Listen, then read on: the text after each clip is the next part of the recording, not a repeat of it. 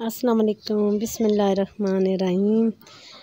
आप ये देख रहे हैं, ये मोती का पौधा है तो मुझसे किसी ने कहा है कि मोती का पौधा अगर हम अपने घर में लगाएँ तो कैसे लगाएँ? इसका बीज होता है या क्या है? इसका हिसाब किताब है, कैसे लगाएँ ना?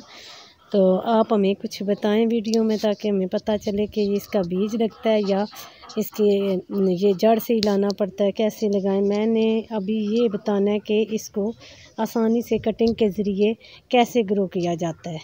तो मैं अभी इसकी कटिंग लूँगी तो इन आपको बताऊँगी कि इसको किस तरह लगाना है और कैसे, कैसी मिट्टी में लगाना है। तो अभी मैं इसकी, मैं एक कटिंग ले लेती हूँ।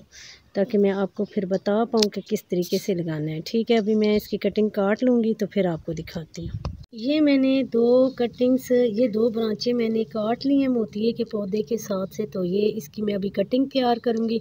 ये कटिंग मैं कुछ टाइम के लिए इस पानी के अंदर डिप कर दूँगी। ताकि पानी के अंदर ये डिप रहें तो उसके बाद ये इनके अंदर काफ़ी टाइम तक नमी रहेगी और ये आसानी से ग्रो करेंगी। तो ठीक है, मैं अभी इनकी कटिंग जो है ना करके तो पानी, इस पानी के अंदर थोड़ी देर के लिए डिप कर दूँगी, कम से कम दो घंटों के लिए। कटिंग को मैंने ये इस बाल्टी के अंदर डिप कर दिया थोड़ी टाइम के लिए और ये इसके ऊपर से तमाम पत्ते मैंने उतार दिए हैं। और ये जो है ज़्यादा मोटी कटिंग की ज़रूरत नहीं होती मोती है कि माशाल्लाह से ये पतली से पतली कटिंग भी ग्रो करने लग जाती है। तो इसके लिए मैंने ये गमला लिया इसके अंदर मैं कोई ऐसी ठीकरी रख दूँगी ताकि पानी जो है ना निकलता रहे, लेकिन मिट्टी ना निकले। तो अभी मैं इसके लिए ये ये मेरे पास ठीकरी है, ये मैं इसके अंदर रख देती हूँ।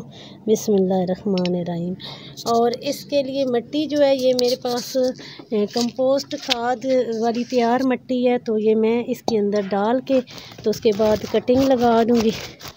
बिसमीम ये इसमें ताकि ये जल्दी ग्रो करे। तो ये। और इसकी कटिंग कोई मुश्किल नहीं है लगानी।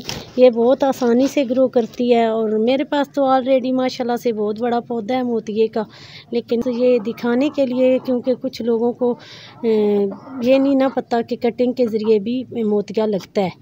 तो ठीक है, जब मैं अभी कटिंग लगाऊँगी तो फिर आपको दिखाती हूँ। कटिंग को डूबे हुए काफ़ी टाइम हो चुका है। अभी मैं इसको, ये एलोवेरा जेल है, ये।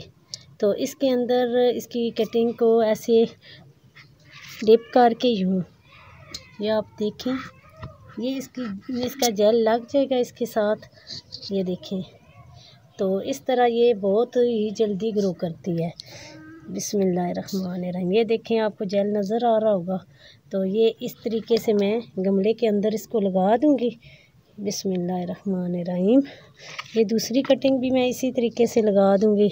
और इसको ग्रो करने में कम से कम टाइम से पंद्रह दिन लग ही जाएँगे। ये देखें। बिसमीम तो आप भी कटिंग के ज़रिए अपने घर में मोदिये का पौधा उगा सकते हैं।